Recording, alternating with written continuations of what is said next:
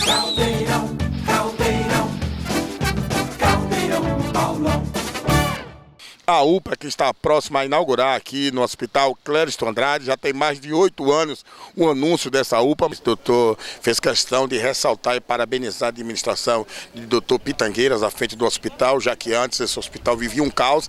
A Secretaria de Saúde está muito satisfeita com a gestão que está sendo empreendida no Hospital Clériston Andrade, tem na frente o doutor Pitangueiras e gostaríamos que exemplos como a gestão dele aqui fossem replicados em todo o estado. E graças à administração de Pitangueira, hoje reina em paz, com belíssima administração que ele vem fazendo. Como é que você ouviu, doutor Pitangueira, eh, esses elogios feitos pelo diretor, o secretário de saúde do estado da Bahia, doutor Vilas Boas, que aprova e diz que concorda com tudo que o senhor vem fazendo à frente do Hospital Geral Clériston Andrade? É, é muito. A gente sente orgulho do trabalho que nós estamos fazendo, agora vale ressalva.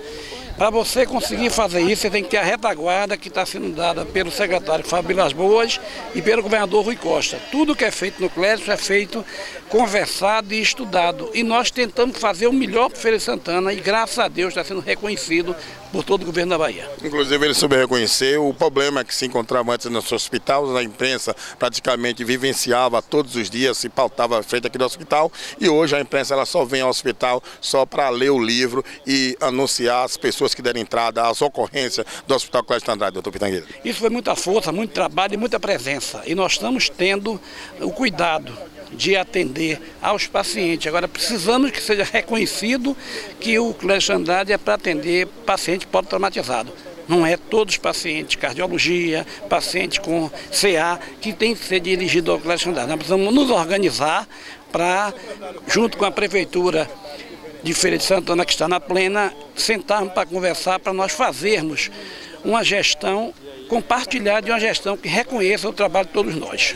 Como é que o senhor avalia eh, agora na sua gestão essa UBA que já tem vários anos que foi anunciada e vai sair agora em sua gestão? Segundo o secretário, é questão de meses para entregar à comunidade.